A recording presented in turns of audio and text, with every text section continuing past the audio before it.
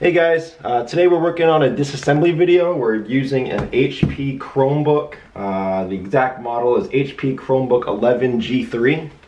We're going to show you how to safely take this apart uh, so you can get at all the components whether you're doing a motherboard replacement or a battery re replacement or a screen replacement. This video will show you how, how to get in there. Uh, so to start, we'll flip this over, get you zoomed in a little bit.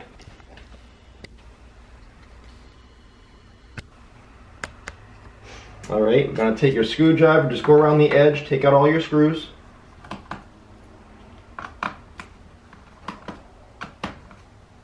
One thing I like doing when you're taking apart a computer, um, not all the screws are gonna be the right length and width for all the threads.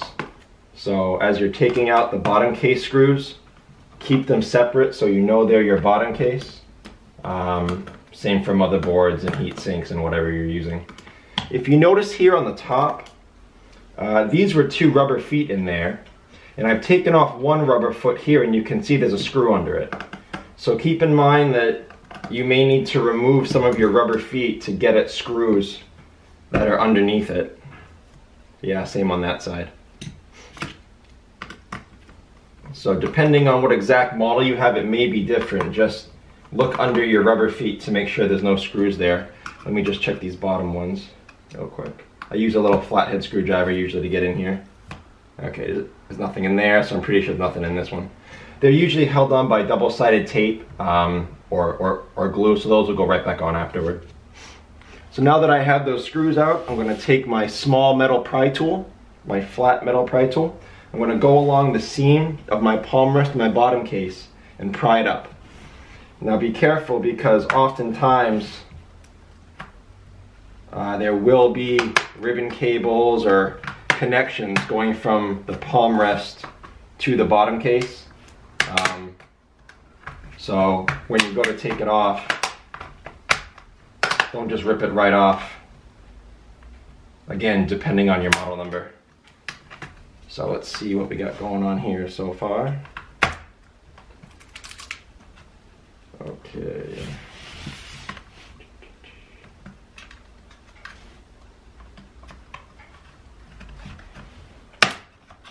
May take a little finagling. There you go. So it's come loose, but I want to make sure nothing's holding it on. Yep, so as you can see under here, uh, there's a ribbon cable here and a ribbon cable there. So again, that's why you don't want to just feel that it's free and rip it off. Uh, you'll end up breaking things. Uh, so you want to get these two unattached. This is nice, there's a lot of wiggle room here. A lot of computers you don't have as much, you're like stuck down here. So just keep that in mind. Now, in here, I'm going to use a, a plastic pry tool this time, not a metal one, because uh, I don't want to go poking around my motherboard and making connections where connections shouldn't exist. You can damage things that way. So I'm going to take my pry tool and I'm going to uh, free these ribbon cables, and then I'll show you how I did that in a second once I get it off. Okay, there's your palm rest. So if you need to access your uh, touchpad, your touchpad's right here. You would unscrew these screws, un unscrew this, and you can get your touchpad out. Keep in mind though, in this model, as in a lot of little Chromebooks, um, your keyboard, your touchpad, they're not held in by screws all the time. As you can see here, there's no screws holding in your keyboard. There's these little plastic rivets that hold on uh, the metal panel supporting it. So if you do decide to swap out your keyboard, you're gonna have to break those permanently um, which means that the next keyboard you put in may not be as secure in there. Uh, that's why if you lose a key or whatever, we, we advise you to replace that individual key um, instead of replacing the entire keyboard. And, and if we do a video on that, we'll, we'll have that link down below in the description. So there's your palm rest, we'll put that aside. Uh, as usual in our videos, if you get stuck, if you have any questions, um, check the frequently asked questions below in the description, it could save you time. But if you have any questions that, that aren't there, leave them below. We'll get back to you as soon as we can. Usually a couple times a day at least. Now if you see in here, I'll show you right here, this is what the ribbon cables were connected on. So you have this one right here, and as you can see, this one and this one, they look different, but they're kind of set up the same. They're a little plastic uh, clip, and the way it works is they snap down to secure the ribbon cable, and they pop up to release the ribbon cable. So right now this is snapped down. So what you would do is you would take your pry tool and you would pop it up. Same thing with this one over here. You take your pry tool and you'd pop it up. And then after you've gotten the ribbon cable out, make sure to put those back down because they break very easily. Um, and if you do break them, good luck finding another one. Um, uh, sometimes you can find them for sale, oftentimes you can't. Uh, so the next item we'll take out is the battery. Anytime you enter a computer, uh, in addition to making sure your charger is unplugged, the first thing you want to remove is your battery. We want to get power out of this computer as soon as possible. It limits anything that can uh, be broken. So we're going to go in, take these screws out. I have a screw here, here, here, here, here, and here. And again, uh, try to keep these separate from the screws that you've already taken out from your mother, uh, your uh, bottom case.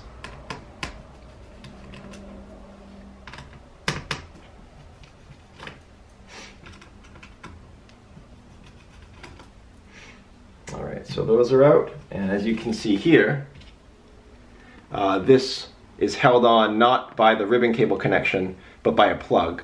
Uh, when you go to unplug this, don't grab the wires and pull. Oftentimes you'll break it.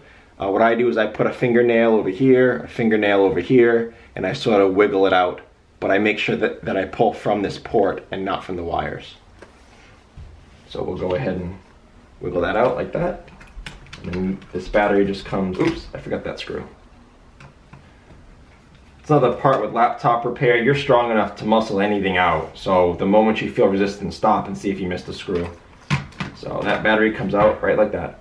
If you need to replace your battery, this battery is an HP PE03 uh, model. You, you, can usually get a part number here or a model number, um, but that's how you would replace the battery.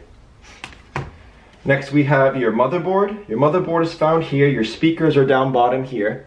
Uh, they come out fairly easily. They're held in by double-sided tape and then the wire just goes over here. Um, so that's fairly easy. Let me zoom in on this for you.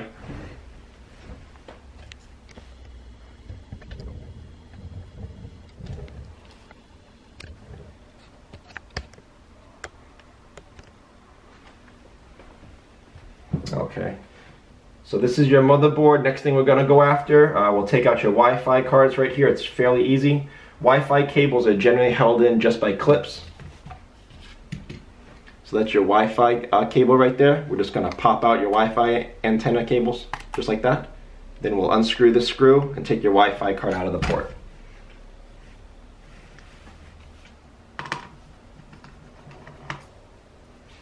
And then that just slides right out like that. Uh, next you have your SD card board here. It's plugged into the motherboard by a ribbon cable. Same connection as before. So we'll take our plastic pry tool, pop that end up, slide it out. Then we'll unscrew the SD card board. Screw down bottom, screw up top. That comes out fairly easily. Uh, now for the motherboard. Uh, this is your LCD cable coming down here, plugging into the back. Same connection as, as before. So I'll pop that up. Slide that out. Snap that back down. Again, be careful with those. Uh, your power uh, jack was plugged in right here. It's not the up and down clip. It's the same connection that you just saw in the battery. So we'll put two fingernails there, slide that out. Uh, then your speaker wire, this is a little more annoying. Um, it's, it's not the clip that you saw with the ribbon cables and it's also not the one you saw with the battery. This is a little more annoying so this may take some extra wiggling time. There's no space for your fingernails. So that may take a little bit more prying out. There we go. But you can get it out the exact same way. Again, resist the urge to, uh, to pull on those wires.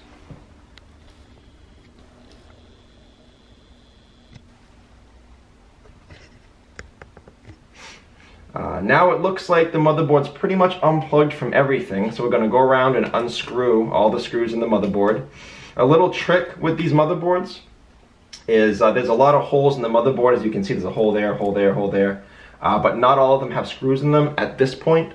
So in order to know which holes to put screws in, you can see right here, uh, they have little white arrows near the holes, or little white triangles, near the holes where you need screws. So there's a white triangle arrow there, there, there, there, but not there. So that's how you can tell when you're putting this motherboard back in, uh, where you need to take screws out, where you need to put them in.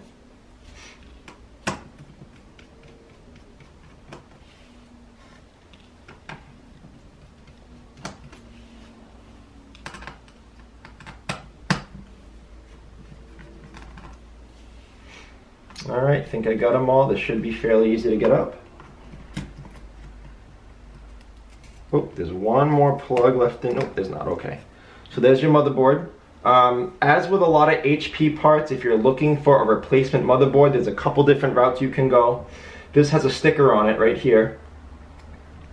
Um, and as you can see, there's a part number on it. There you go.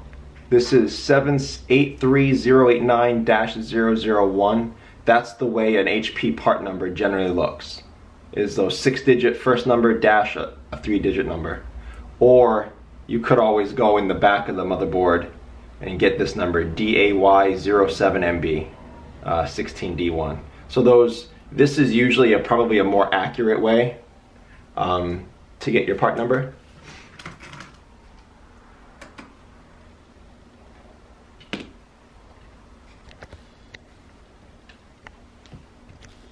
Sorry about that. Not sure why it all fogged up on me. But yeah, that's usually a better, uh, more accurate number to get. So put your motherboard off to the side. Uh, now we've gotten this bottom part taken apart pretty well. We'll take out your LCD assembly now. So we'll just unscrew the two remaining screws that are holding your hinges down.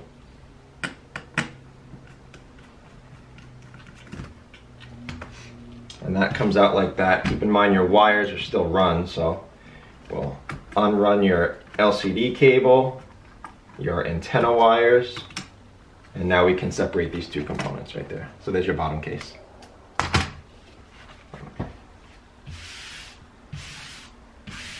Okay, so there's your LCD assembly. Uh, first thing to check for is, is any screw holes uh, that could be holding this down. Here you don't see any, but they hide them. On these corners here, it looks like that's a solid piece, but that's a sticker uh, that goes over your screws. So be careful about that. So we're gonna take our little small flathead screwdriver, maybe a metal pry tool if, if, if you have it, and uh, we're gonna go around here and pry that up.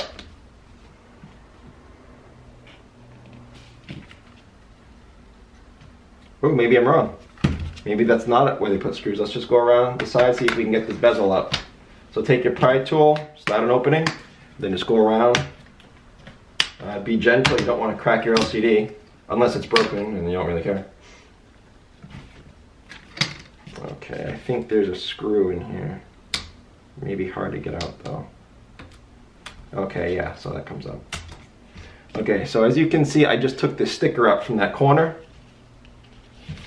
And as you can see, there's a, uh, there's a screw hidden in there. Kind of like when you were taking out your bottom case, they hide screws under the feet. So there's two screws in each corner here hidden by one of those little stickers. So we'll go get the other one from here.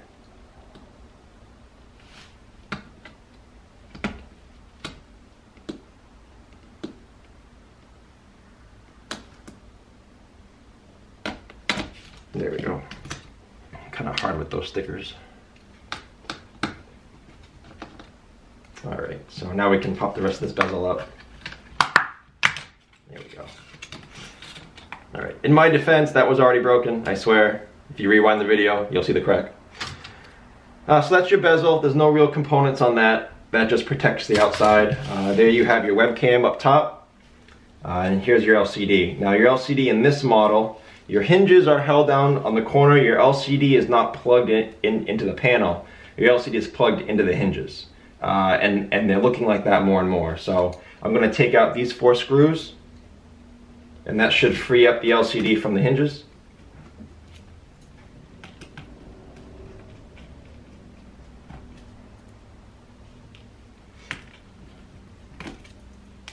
Oops, dropping stuff. All right, so that should free up my LCD. Pick that up. Okay, I'll slide that around for you. Now the last thing you want to do to unplug your LCD is, is, is kind of tricky. Um, it's held in there uh, by some tape first of all, so I'm going to slowly and gently try to take this tape up. Okay, I'll zoom in on that, that, that for you because this is kind of a tricky, annoying part. So there's your connection and this is very easy to break. This wire is very flimsy attached to its port. So go under here. This pull up.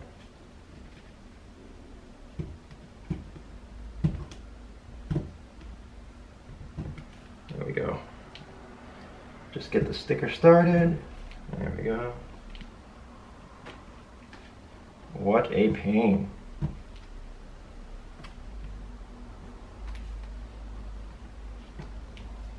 Alright, let's try it from the other side here.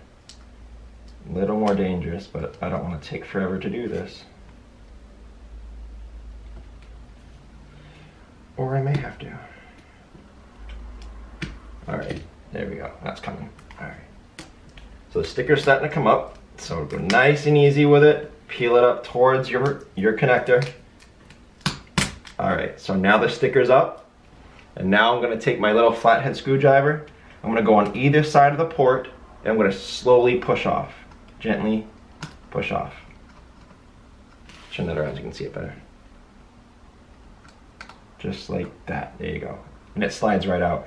This is very flimsy. It's very easy to pull on this cable, uh, on the cable, and pull the LCD wires right out of the port. So that's why you go very slow on that. But there's your LCD. Oops, wrong way. So that is how you would disassemble uh, this Chromebook. That's how you would access most, if not all of uh, the components that you would need to access. Um, as described earlier, uh, once you're putting the motherboard back in, look out for those little triangles, those arrows to show you how to screw it back in. Uh, and keep in mind when you're shutting this back up, double check everything before you close it up. Make sure that you've reassembled it correctly, that no wires are missing. Um, it's also a good idea to uh, take a a camera picture um, with your phone uh, of your motherboard so you know where things plug in uh, before you go back and uh, start taking everything out. So again, if you had any questions or comments, leave them below. Uh, hopefully this helped you navigate inside this Chromebook. Uh, please like and share if it was helpful and if you enjoyed do-it-yourself computer repair, uh, please subscribe. Thank you for watching.